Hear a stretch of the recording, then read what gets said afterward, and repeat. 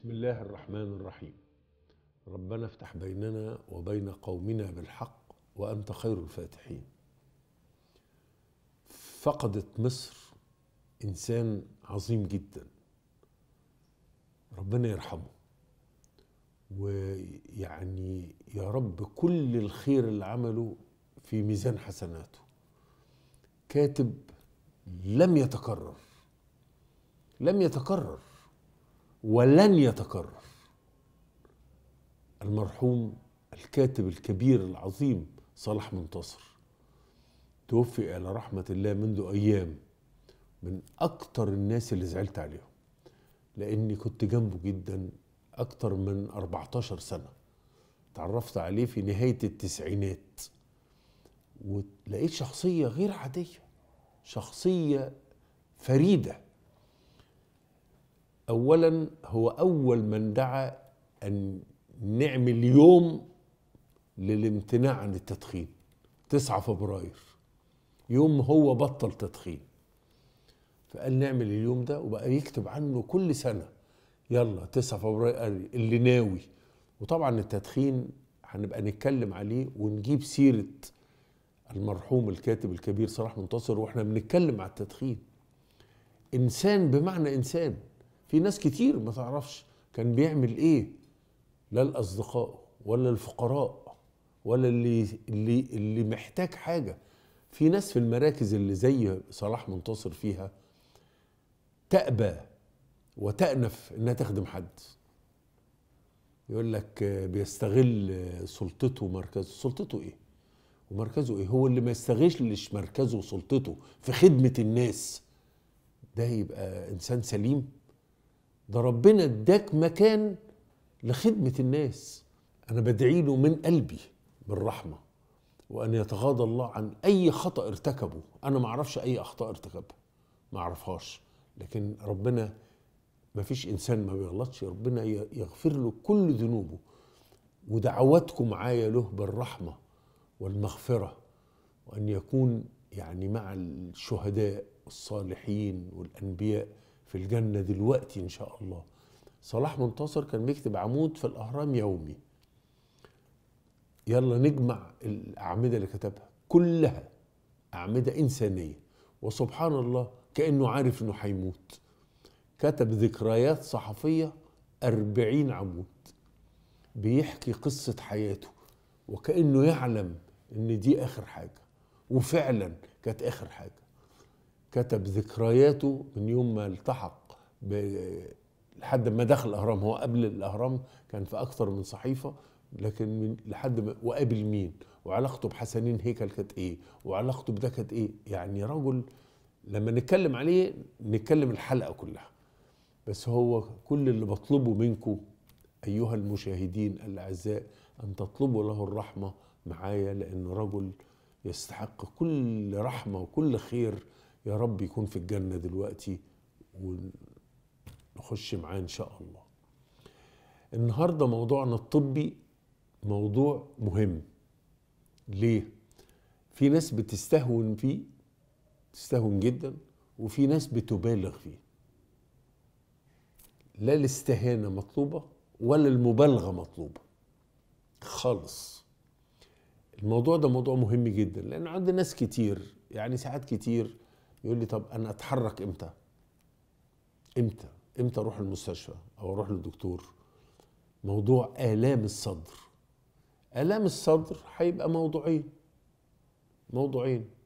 إيه أسباب آلام الصدر؟ وإيه مواصفات كل سبب؟ هو آلام الصدر عند معظم الناس تساوي ذبحه صدريه غلط. غلط. ده عند معظم الناس. غلط. مش صح. ده ممكن تكون حاجة هايفة جدا جدا.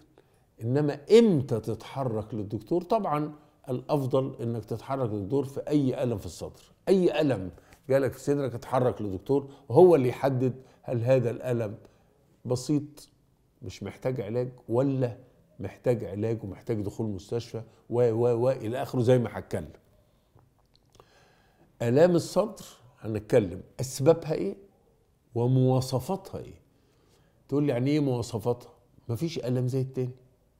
مفيش ألم زي التاني. هل آلام التهاب البنكرياس زي التهاب الزايدة؟ ما هو الاثنين في البطن. لكن دي مواصفات ودي مواصفات ودي اللي بنعلمه لولادنا في كلية الطب.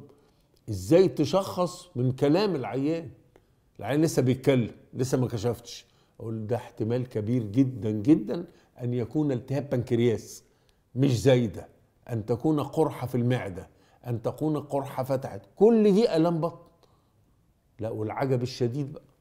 الشديد الشديد أن تكون الذبحة الصدرية جاية بالام في البطن في أعلى البطن مش في الصدر. إحنا شفنا حالات كتيرة جدا جدا.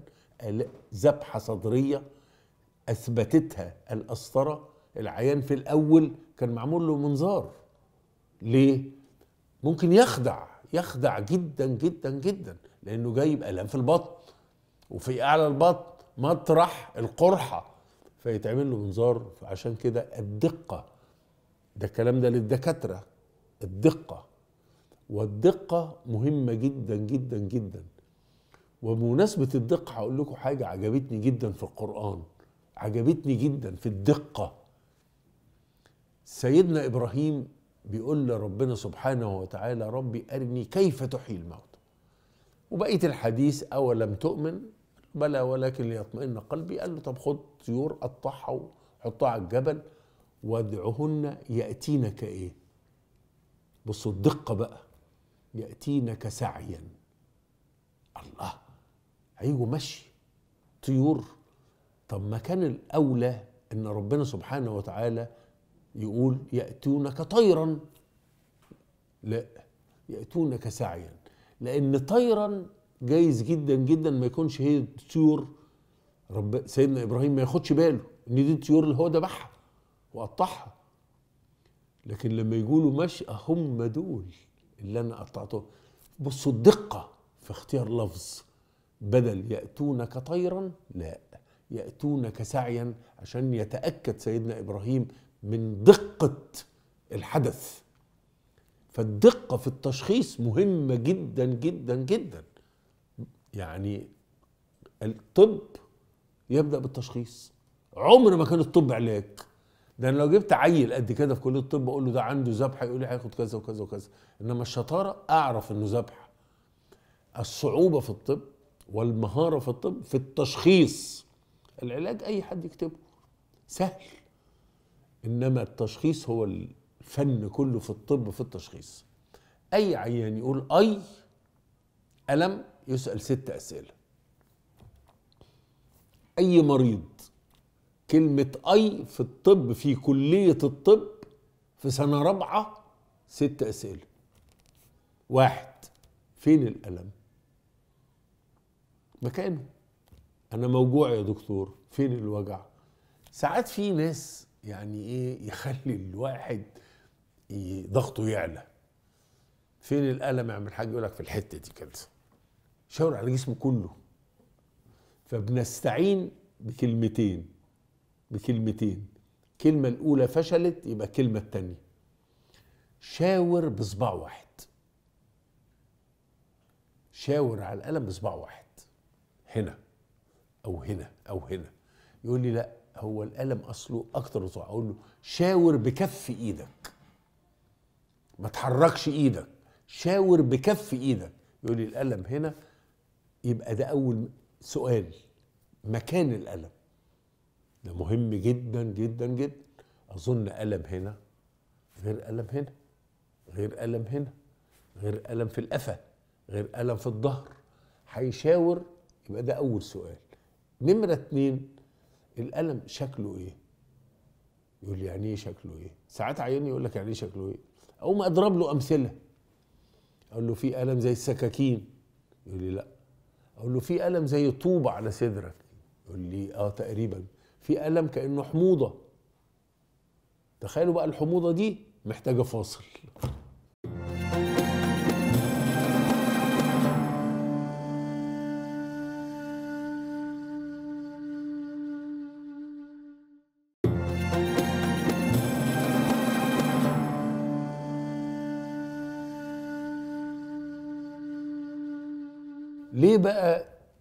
الحموضة كانت محتاجة فاصل. ليه؟ لأنها بتلخبط جدا جدا جدا.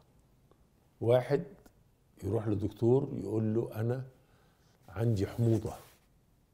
أظن يعني أي حد في الدنيا لا يفكر إلا في مشكلة يا ارتجاع مريء يا قرحة في المعدة يا قرحة في الاثنى عشر يا فتق في الحجاب الحاجز. ده اللي هيفكر فيه وهيبعته يوجهه إلى جهاز هضمي وهو ذبحه فعشان كده خلي بالكم مش شرط إن الحموضة تبقى معدة خالص.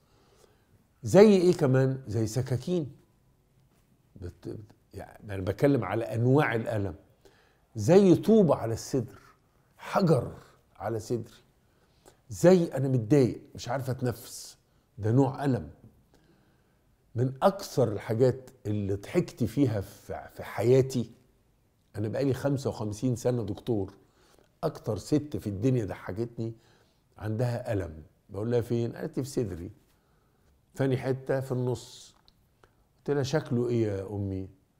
قالت لي عارف وجع الدورة الشهرية؟ قلت لها يا بنتي هعرفه منين؟ قالت لي زي ما عادل إمام قال ما أنتوا الحكومة عارفين كل حاجة. تقول لي ما أنتوا الدكاترة عارفين كل حاجة. لا في حدود لنا. فنوع الألم ده السؤال الثاني يبقى أول سؤال هو أين الألم؟ اتنين نوع الألم. ثلاثة إيه اللي بيجيبه؟ إيه اللي بيجيب الألم؟ تقول لي أما أمشي. ده حاجة. أما أطلع سلم. ده حاجة. لما أسقع. ده حاجة تانية. لما آكل. ده حاجة تانية وهكذا. إيه يا ابني اللي بيجيب الالم وساعات إحنا نساعد العيان يقول لي يعني مش عارف إيه اللي بيجيبه. نقوم نلخبطه كده لما تزعل يجي الالم ده إيه؟ بسبيل اللخبطة يعني لحد ما هو يبتدي يقول. إيه اللي بيوديه؟ إيه اللي بيودي الالم طب جالك الالم أنا كنت ماشي أول ما وقفت الالم راح. أدي بيودي الالم اما خدت قرص تحت لساني الالم راح. لما ارتحت شوية الالم راح. كويس. طب بيسمع فين؟ السؤال الخامس. بيسمع فين؟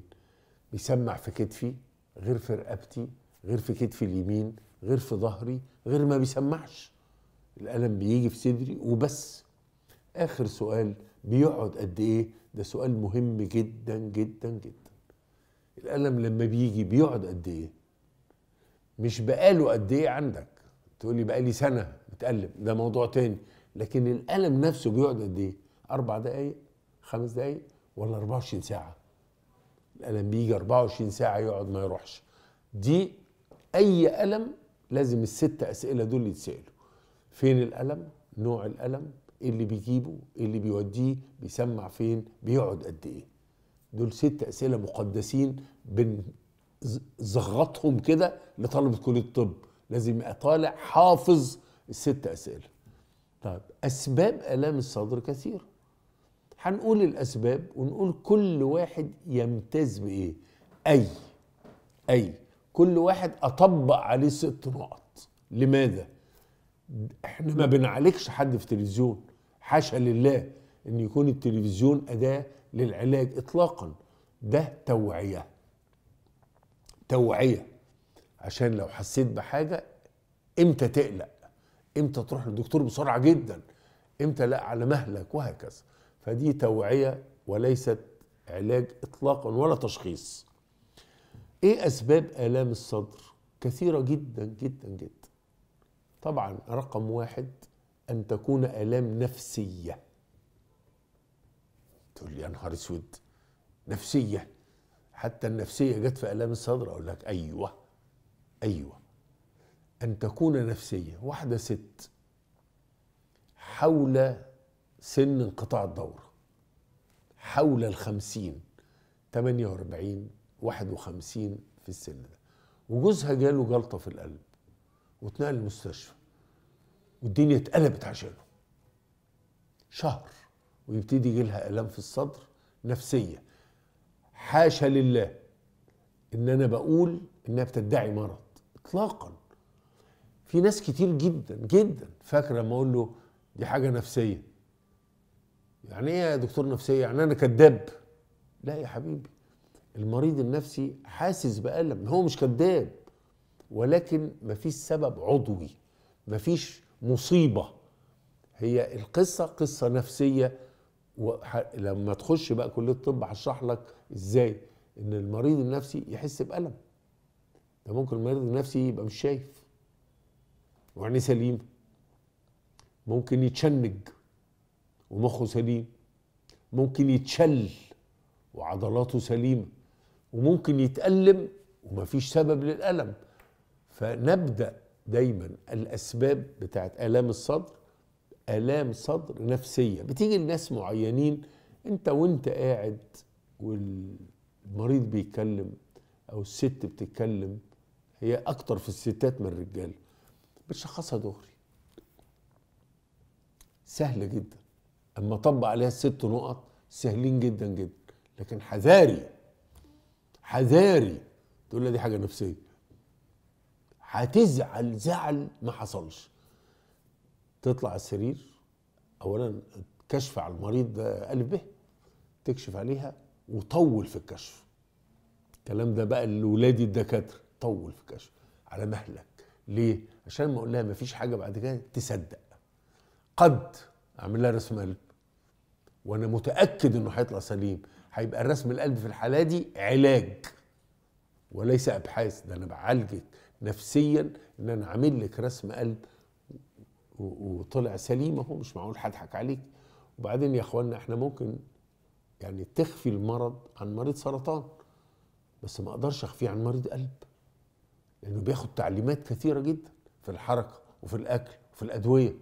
ما أقدرش أخفي مريض قلب أخفي عنه المرض بتاتا. فيبقى أول سبب من أسباب آلام الصدر هقول الست نقط هنطبقهم عليه. هي آلام اللي إحنا بنسميها ذبحة كذبة. ذبحة كذبة. هي ذبحة صدرية بس مش ذبحة صدرية دي كذبة. نمرة اتنين الذبحة الصدرية اللي بحقه حقيقي بقى. ده الام صدر. مهم. نمرة ثلاثة التهاب الغشاء المغلف للقلب. من زمان قوي وإحنا اتفقنا إن القلب ده حواليه غشاء اسمه الطامور غشاء اسمه الطامور التهاب الطامور يعمل آلام في الصدر. التهاب الطامور نمرة أربعة ومهمة جدا جدا جدا جلطة الرئة. اللي جاله جلطة في الرئة عنده آلام شديدة في صدره. هنوصف كل حاجة هنوصف عليها الست نقط اللي أنا قلت بنسأل العيان عليهم. نمرة خمسة في شريان اسمه الأورطة. ده طالع من البطين الأيسر. ساعات يحصل فيه هنفترض إن ده جدار الاورطه ده إيديا الاتنين دول جدار الاورطه ساعات جدار الأورطة يتفتق يتفتق كده بيدي الام شديدة جدا جدا جدا اسمه تفتق الأورطة. وإحنا جبنا التفتق ده من القرآن إن السماء والأرض كان رتقا ففتقناهما يعني فصلناهم عن بعض. فإحنا سمينا إن الأورطة لما يعمل كده يبقى اسمه ده بيدي الام شديده أو نمرة ستة وآخر حاجة هي جلطة الشريان التاجي انسداد. مش ذبحه انسداد شريان تاجي يبقى عندي زي ما بسأل ست أسئلة عندي ست أسباب في القلب. في القلب ست أسباب في القلب. يدوا وجع في الصدر واحد الذبحة الكاذبة. اثنين الذبحة الصدرية. ثلاثة جلطة الرئة. أربعة التهاب الطامور اللي هو الغلاف المغلف القلب. خمسة تفتق الأورطة ده برضو ألام شديدة جدا. نمرة ستة انسداد الشريان التاجي ألام شديدة شوية. هتفرق قوي عن الذبحة الصدرية وهقول الفروق لأن كل واحد لازم يعرفها خاصة المريض اللي عنده ذبحة. المريض اللي عنده ذبحة لازم يعرف كويس جدا إمتى الشريان سد. انت الذبحة شريان ضيق. هو الشريان كده ده ضيق قد كده. تمام؟ طب إمتى تسد؟ لازم يبقى عارف كويس جدا. عشان الدقيقة بتفرق.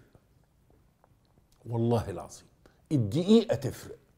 لو رحت بدري المستشفى بدري غير بعدها بربع ساعة غير نص ساعة غير ساعة غير ساعة ونص. ودي يعني رجاء لما تلاقي عربية إسعاف وسع لها. لأن اللي جوه ده الدقيقة تفرق معاه.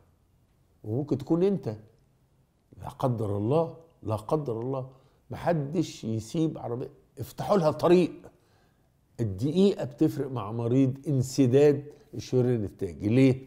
لأن أنا أقدر أدوب الجلطة بس ليا وقت. ليا وقت. لو الوقت ده عدى ما ينفعش ندوبها فالوقت ده لو وصل فيه المستشفى بندخل قسطرة وندوب الجلطة وكأن شيئا لم يكن. خلي بالك من الكلمة وكأن شيئا لم يكن. فدي رجاء لأي حد يشوف عربية اسعاف وسع لها عشان إيه؟ توصل بسرعة وتنقذ الراجل اللي جوه. طيب ناخد أول سبب من أسباب آلام الصدر القلبية. آلام الصدر كثيرة جدا. ممكن فتق في الحجاب الحاجز يعمل آلام في الصدر.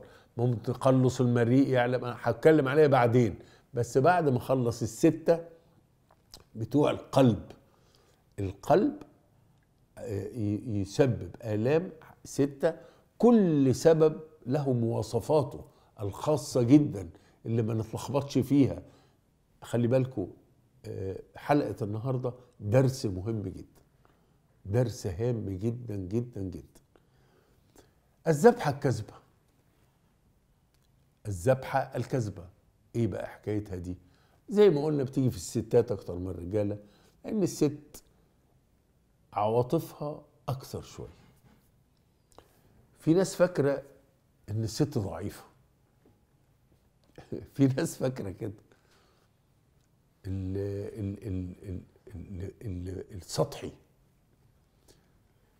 أما أقول سامح المخرج العزيز اللي أنا بحبه جدا كالأسد. سامح كالأسد. مين أقوى؟ سامح ولا الأسد؟ قطعا الأسد. قطعا. أنا بشبهه بالأقوى منه. سامح كالأسد. يبقى الكاف جت قبل المشبه بيه. والمشبه بيه أقوى من ال- ال- ال- اللي أنا بشبهه. سامح كالأسد. تخيل القرآن قال كده. ألي قال وليس الذكر كالأنثى. كالأنثى. يبقى مين الأقوى؟ الأنثى أقوى من الذكر في القرآن لأن الكاف بتيجي قبل الأقوى. سامح كالأسد وليس الذكر كالأنثى. دي حتة على الماشي كده. كانوا عملوا تجربة جميلة جدا جدا جدا. الناس اللي بتستهون ب- بتعامل الأنثى على إنها ضعيفة. عملوا تجربة في ألمانيا. جميلة جدا. تمثيلية كده. واحد نايم بالليل يروحوا مدخلين عليه واحد على إنه هيقتله. ومعاه سكينة. وداخل وخلاص هيموته هيموته. يقولوا لا ده إحنا إيه عارفين الكاميرا الخفية؟ زي الكاميرا الخفية كده. عملوا على 100 راجل و100 ست. 100 راجل لو محتاجين بامبرز بعد ما عملوا اللعبة دي. ده الرجالة. الست اللي دخل عليها بعد ما بتاع قالت الراجل ده كرافتته ما كانتش ماشية مع البدلة. وكان البرفان بتاعه وحش. وكانت دقنه مش محلوقة. وصفته معظم الستات بينما معظم الرجالة أغمى عليهم. الست قوية جدا فما بنهونش بالست. ولكن تصاب بمرض نفسي اسمه الذبحه الكاذبه خاصة لو عاشت في جو مريض قلب. أبوها أمها جوزها أخوها تبتدي تشتكي من آلام في الصدر اللي إحنا بنسميها ذبحة كاذبة. يلا مواصفاتها. ستة. يلا طبق المكان. تحت الثدي الشمال. خلي بالكم. تحت الس... الألم فين؟ تحت الثدي الشمال. تمام؟ تمام. الذبحة الصدرية. أي مكان في الصدر ما عدا تحت الثدي الشمال. أظن وأنا قاعد بقى في العيادة مرتاح أما تيجي واحدة تقول لي أنا عندي وجع هنا ارتحت. الذبحة الصدرية يجي في أي مكان في الصدر ما عدا هذا المكان. فده مريح جدا. طب هو المكان ده ليه نفسيا بيجي؟ لأن معظمنا معتقدين إن ده مكان القلب. فلما يجي الألم يبقى نفسيا في هذا المكان. عايز تعرف أكتر؟ استنى بعد الفاصل.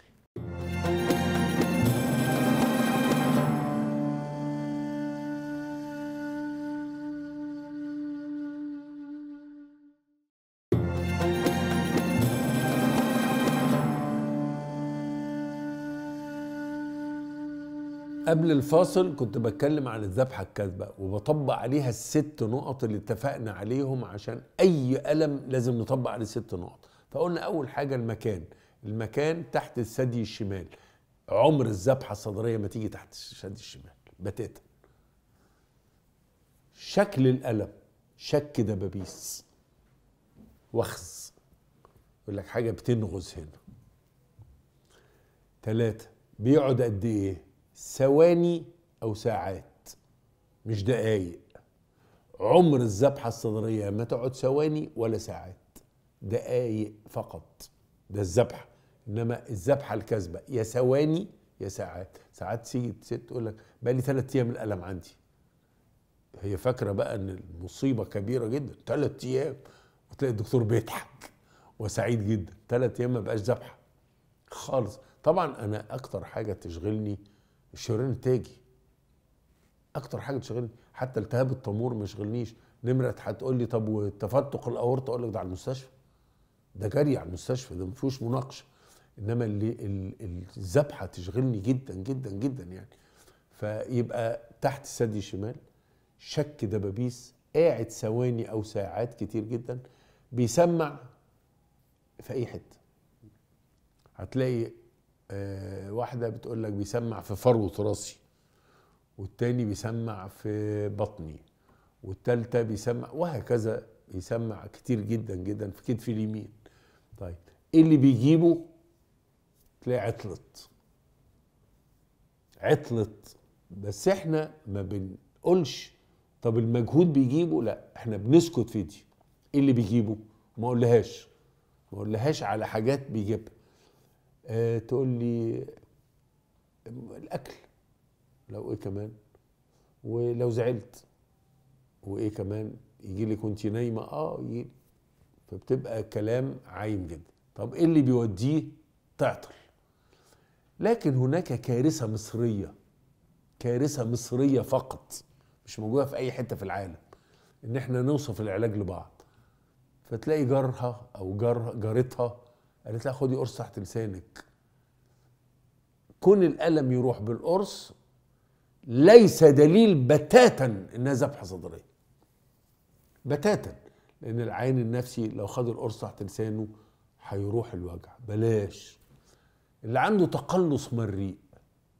تقلص مريء بعيد كل البعد عن الذبحة الصدرية لو خد القرص تحت لسانه تقلص المريء هيروح. فحكاية الألم يروح بالقرص بلاش ناخدها كأنها قرينة للذبحه الصدريه اطلاقا ما الذبحة آه بتروح بالقرص أوكي. لكن في مليون حاجة تروح بالقرص منها المريض النفسي. يبقى فين؟ تحت الثدي الشمال. شكله إيه؟ شك دبابيس بيقعد قد إيه؟ ثواني أو ساعات. بيسمع فين؟ في أي حتة. إيه اللي بيجيبه؟ أي حاجة. إيه اللي بيوديه؟ أي حاجة. هنكشف كشف دقيق جدا. نفسيا تبقى الست مرتاحة. نفسيا إن اتكشف عليها كويس جدا. قد نحتاج لرسم قلب. إنما ما بقاش عارف إن دي ذبحة كاذبة واعمل لها قسطره عيب عليا. تقول لي ما عشان تطمن. مش مهم تطمن.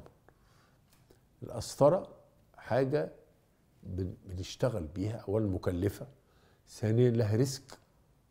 طبعا لها ريسك طبعا مش بدخل أنبوبة وكلام. فعيب عيب قوي إن أنا أبقى متأكد إن دي مش ذبحة صدرية وأعمل لها قسطره بحجة أطمنها. عند الشك الشديد قوي اعمل رسم قلب مجهود. عند الشك الشديد قوي هيطلع سلبي في هذه الحالات. وان طلع إيجابي ما بقتش ذبحة كذبة. ما بقتش. يبقى أول حاجة هنستبعدها الذبحة الكذبة اللي بتيجي المريض نفسيا مش مرتاح الجو المحيط فيه حصل فيه مشكلة في القلب طبعت عليه جات له الآلام هو مش كذاب هو مش كذاب ولا بيدعي مرض هو عنده الآلام لكن الست أوصاف اللي وصفنا بها الألم بعيدة كل البعد عن الذبحة الصدرية. نمرة اتنين ضيق الشريان التاجي. طيب الألم في هذه الحالة في ضيق الشريان التاجي. انت عندنا شريانين تاجيين هم اللي بيغذوا عضلة القلب. القلب جواه دم بس ما يستفدش منه. أنا محتاج دم بيجي لي عن طريق شريان. مش بستفيد من الدم اللي جوه القلب لا. ده شريان اسمه التاج الأيمن والتاج الأيسر بيغذوا عضلة القلب. كويس جدا. جدا الألم في ضيق الشريان التاجي نعمة من الله. والله. نعمة من الله. جميع الآلام نعمة من عند ربنا. إن عمل لنا جهاز في الجسم يستقبل الألم. جهاز مخصوص تبع الجهاز العصبي يستقبل الألم. طب بتقولي نعمة ليه؟ أقول لك يا سلام هنفترض ضيق شريان تاجي وانت مش داري. وانت مش داري. ماشي طالع نازل رايح جاي هوب وقعت مرة واحدة. زايدة. زايدة ملتهبة وانت مش عندكش قلب. وسعيد وبتضحك وفرح وانت عندك زايدة ملتهبة وهتنفجر وانت مش هنا. الألم نعمة من عند الخالق نعمة غير عادية. الألم مهم جدا. طيب ضيق الشريان التاجي يدينا ألام؟ أي نعم. يدي الام في الصدر؟ أيوه. طب هل هناك استثناء؟ يستثنى. هل في مريض ذبحه صدرية بدون الم للأسف الإجابة آه. يعني يبقى عنده ذبحه صدرية نكتشفها بطرق مختلفة بس هو مش متألم. خاصة مرضى السكر. خاصة المريض اللي عنده سكر. ممكن جدا يبقى عنده ذبحة صدرية. ما هي ذبحة يعني ألم بس هو عنده ضيق شريان تاجي وما عندوش ألم. عشان كده في بعض الكتب تقول لك رسم القلب الإجهادي في مرضى السكر روتين. روتين. اعمل له من غير ما يشتكي. عشان تطلعه وتنقذه وتعالجه بدري. طب ضيق الشريان التاجي هيدينا الام صدر. هنطبق عليها الست نقط واعمل جدول كده بين الذبحة الكاذبة وبين الذبحة الصدرية واعمل النقطة الأولى المكان النقطة الثانية الزمن الثالثه التسميع اللي بيجيبه. اعمل جدول لكل اللي هقوله هتلاقيه رائع ووعي غير عادي. هتلاقي عندك وعي غير عادي إن أنت اولا هتصرف إزاي أو أطمن. لا ده مش زي الذبحة الصدرية. فأول حاجة بنقول أين الألم؟ أكتر من 90% من مرضى الذبحة الصدرية أو ضيق الشريان التاجي الألم في النص في النص في نص صدره مش متطوح لا شمال ولا يمين. ده المكان. ده 90% طيب في المية أي مكان في الصدر أي مكان. تحت الترقوة اليمين يجي. تحت الترقوة الشمال يجي. هنا في أعلى البطن في أعلى البطن يجي. أي حتة ما عدا تحت الثدي الشمال. أي حتة في الصدر يبقى عندي 90% في النص. الألم في النص. وعشرة في المية متبعزق من أعلى البطن إلى يمين إلى شمال إلى هنا ما عدا تحت الثدي الشمال ما يجيش ذبحة صدرية يبقى ده أول حاجة المكان. تاني حاجة نوع الألم إيه؟ نوع الألم. هو غالبا مش ألم. غالبا مش ألم. أمال إيه؟ هقول الكلمة بالإنجليزي زي ما انقلها لكم من الكتاب وبعدين نترجمها. كتاب كتب إيه؟ يقول لك ده sense of discomfort. مش مرتاح. مش متألم بس مش مرتاح. يشاور على الحتة دي ويقول لك أنا مش مرتاح. كان أستاذي رحمة الله عليه رحمة الله عليه دكتور عبد المنعم حسب الله علمنا علمنا طب وعلمنا أخلاق وعلمنا كيف نعامل المرضى وكيف ندير مكان كان يعني أسطورة. دكتور عبد المنعم حسب الله هو اللي قال للرئيس أنور السادات أن يجعل الغسيل الكلوي على نفقة الدولة. والرئيس أنور السادات وافق ساعتها. وافق. هو يعني ربنا يرحمه يا رب رحمه واسعة. علمنا حاجة حلوة قوي قال خلي بالك. العيان اللي يشاور بكف إيده خاف. اللي يشاور بصباعه اطمن. دايما بتاع الذبحة الكاذبة يقول لك عندي الم هنا بصباعه. بص دقه الراجل ده والتاني يشاور بإيده. هو بيشاور نوع الألم. هو نوعه شكشكه فبيشاور بصباعه. بينما الذبحة الصدرية بيبقى حاجة قاعدة على صدره. زي ما قلنا ديسكمفورت يعني عدم ارتياح. أو يقول لك في طوبة على صدري. طوبة. يعني إحساس تقل على صدره. أو سكينة. ومن هنا جاءت ذبحة. صدرية ذبحة دي واحد بيذبحك. يبقى زي السكاكين. أو أو حرقان. حرقان زي الحموضة. تخيل يقول لك أنا هنا حموضة كده. يبقى قلنا مكان الألم وقلنا نوع الألم. إيه اللي بيجيبه ده؟ مهم جدا جدا جدا. المجهود. تاني المجهود. ألم الذبحة فأكتر من 90% من الناس ما يجيش إلا مجهود طلعت سلم. أحس الإحساس ده. جريت شوية. أو مديت. أو الأتوبيس فاتني وأنا بجري وراه. تلاقي الألم ده جالي. فالمجهود هو الأساسي في إنه يجيب الألم. هل في حاجات تانية تجيب الألم؟ آه. الساعة. واحد كان في فرح. في فندق على النيل في يناير والجو جوه دفى جدا وسعيد جدا وهو طالع على الهوا ياخد عربيته حس بألم في صدره. لا يا بابا ما تقلقش ده شوية برد. والراجل يصدقه. يصدقه إن ده برد. ما أنا طلعت في البرد اتألمت. ما تقلقش. بلاش نفتي لأن ساعات نضيع العيان بالإفتة بتاعتنا دي من غير ما ندرى.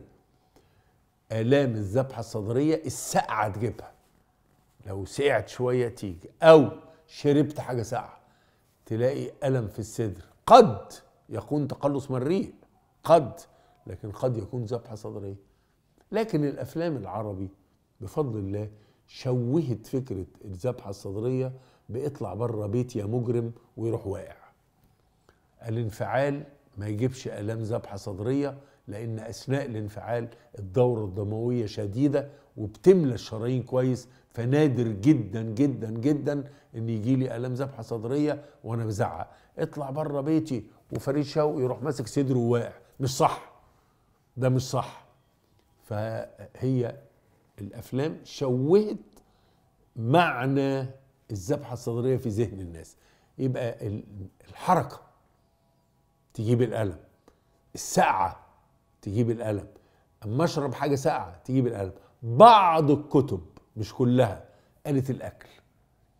لو كل وتقل شوية ممكن الآلام تجيله. فتخيل أنت واحد رايح لدكتور الألم إيه؟ في هنا. شكله إيه؟ حموضة. بيجي إزاي لما ياكل؟ ده لو ما عملش منظار يبقى عايز الضرب. تخيل الثلاثة دول. الألم فين؟ في صدري. شكله إيه؟ حموضة. بيجي بإيه؟ بالأكل. أظن ده ضل للدكتور ضلال غير عادي. عشان كده الدقة يا إخوانا الدقة مهمة جدا جدا جدا في المريض. طبعا الدقة عايزة عمر وعايزة خبرة وعايزة وقت بس إن شاء الله إحنا عندنا أحسن دكاترة في العالم والله. أشهد للطبيب المصري إنه أحسن طبيب في العالم. طبيب في أمريكا مستور. مستور بمليون حاجة حواليه. أبحاث وتمريض وأوضة عمليات ما حصلتش وأجهزة وبتاع. إحنا بنشتغل هنا في كثير من الأحوال. فرادى فيبقى ممكن يكون الألم يجي بالحاجة الساقعة أو بجو ساقع. الأكل نادر جدا جدا. الانفعال نادر جدا جدا جدا جدا بقى. الانفعال. يبقى هذا هو الإيه؟ الذبحة الصدرية كمكان وكنوع ألم وإيه اللي بيجيبه؟ إيه اللي يوديه؟ يوقف اللي بيعمله. يوقف اللي بيعمله. زي ما أنا هعمل دلوقتي كده وأروح واخد فاصل.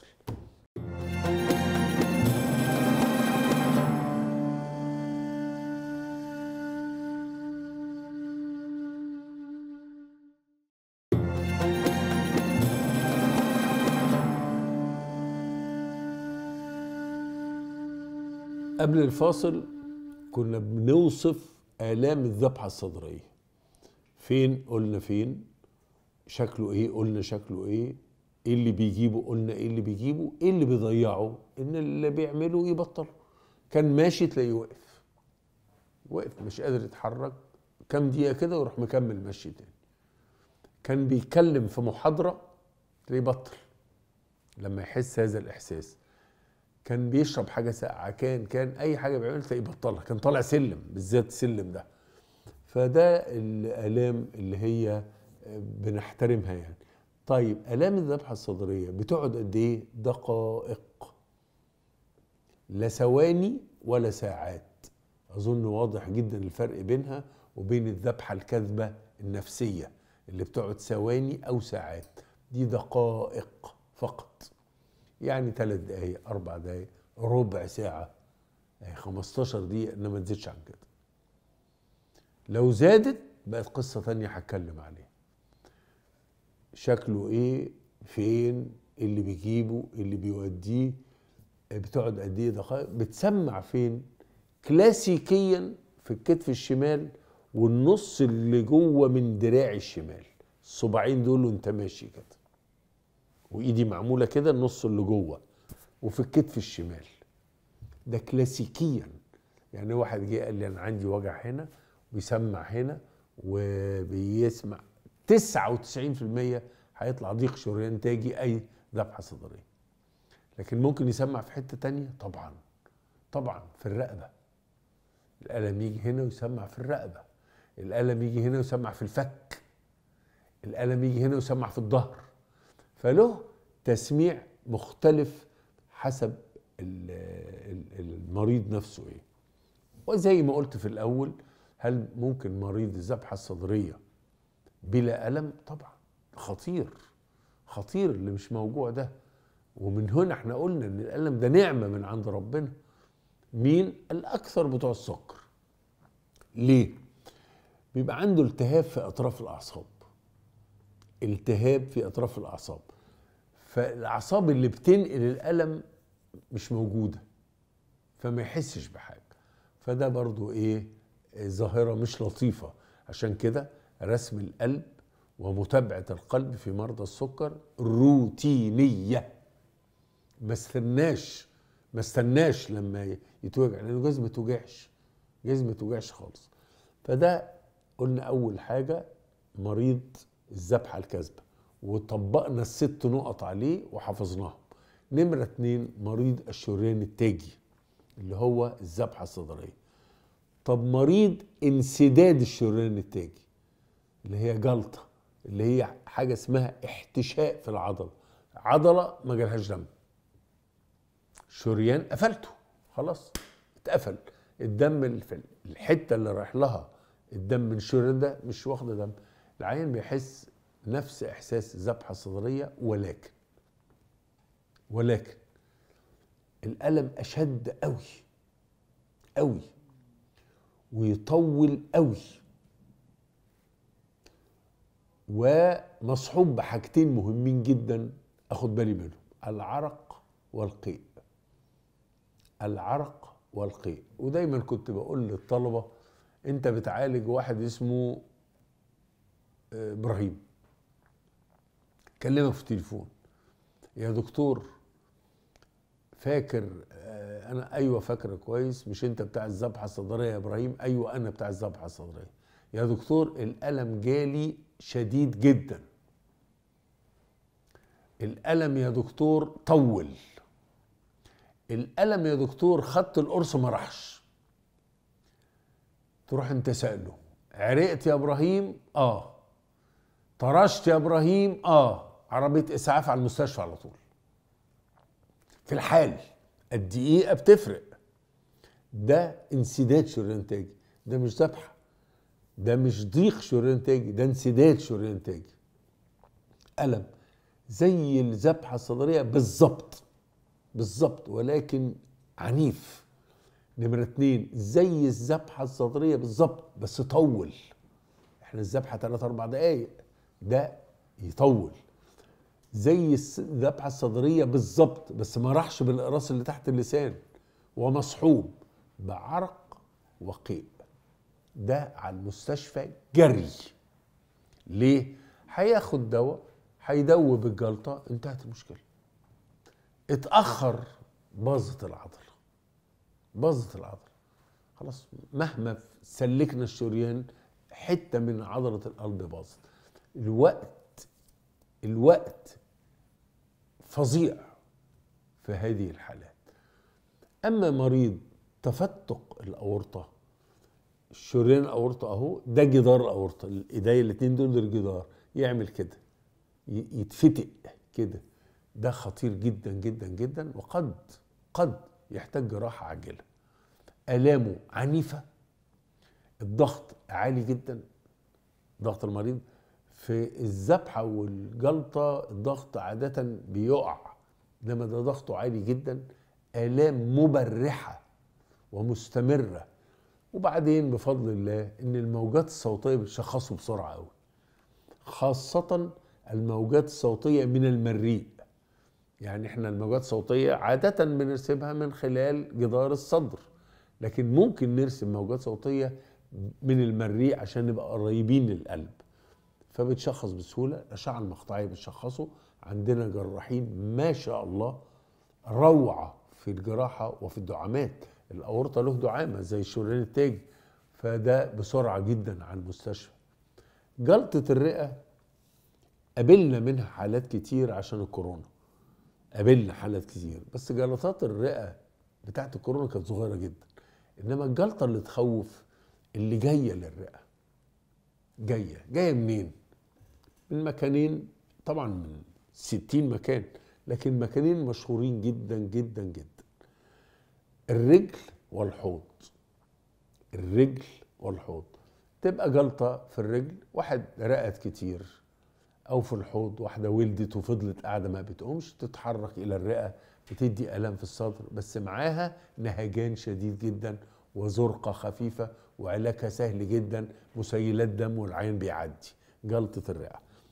كما بدأت أترحم على الأستاذ الكبير والكاتب العظيم الأستاذ صلاح منتصر أختم الحلقة بيه. الراجل ده كان فيه إرادة أنا ما شفتهاش في حد كتير. أنا بعالج مرضى كتير جدا ما شاء الله جدا. عنده إرادة الشفاء. جاله أمراض خطيرة جدا. وقف. وقف صلب بإيه؟ إرادة الشفاء. إرادة الشفاء دي إحنا شايفينها بنحسها بنحسها بس مش لها أي تفسير. خالص. والله ما لها أي تفسير. العيان اللي عايز يخف غالبا بيخف. العيان اللي مش عايز يخف غالبا بيموت. أنا شغال عناية مركزة. ده شغلتي. العيان اللي عايز يخف بيقوم. أهم حاجة إرادة الشفاء كانت موجودة في المرحوم صلاح منتصر. كان يوما ما وهو في صغير كان بيدخن. وكل واحد ينصحه يبص الامانه أول حاجة يقولها له يقول أوعى التدخين. هو بطل تدخين وحس الفرق بين المدخن والغير مدخن. الراجل ده كان أسطورة. لا تتكرر. وكررها تاني. لا يتكرر. لا يت... ولن يتكرر. صلاح منتصر ده عمود كل الواحد يصحى الصبح يقراه كنت بتصل بيه يوميا مرة أو اتنين أو تلاتة خاصة أثناء مرضه لما تعب كان صديق حميم ليا وعمره ما اتأخر عن حد. أنا يعني مثلا مريض يبعتهولي. دكتور حسام الراجل ده غلبان وكده. أنا في الأول كنت فاكر دول معارفه طلع ما يعرفوش خالص. خالص. ما يعرفش اسمه. هو لجأ له. أنا تعبان وبتاع وأنا يعني هو يحس إن هو راجل غير قادر. يبعتهولي بشوفه وبعالجه. زي ما هو طلب بالظبط. راجل كان كريم كريم كريم إلى أقصى درجة. كان حليم كان صبور صبور جدا جدا. صبر على المرض صبر شديد. كان مرض خطير. طبعا مش من حقي أقول عنده إيه خالص. لكن كان مرض خطير ومرض شديد ومع ذلك كان قمة الصبر. رحمة الله عليه. نلقاكم الجمعة الجاية إن شاء الله.